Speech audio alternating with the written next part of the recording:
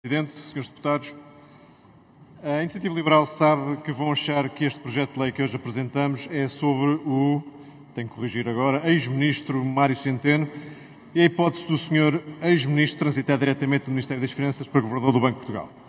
Vão também achar que este projeto de lei aparece apenas porque não é evidente que o senhor ex-ministro seja a melhor pessoa para ocupar o cargo, seja porque a sua liderança no Eurogrupo foi questionada, seja porque o BCE arrasou a falta de independência que as propostas para o modelo de supervisão encerravam.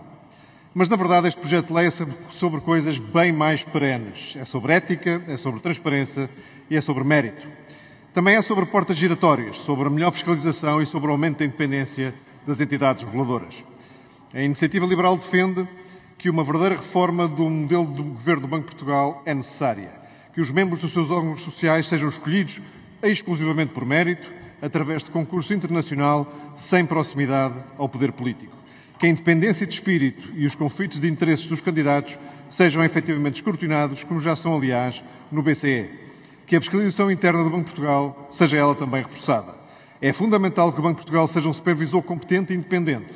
Para a iniciativa liberal, tal não é compatível com portas giratórias nem com proximidade ao poder político.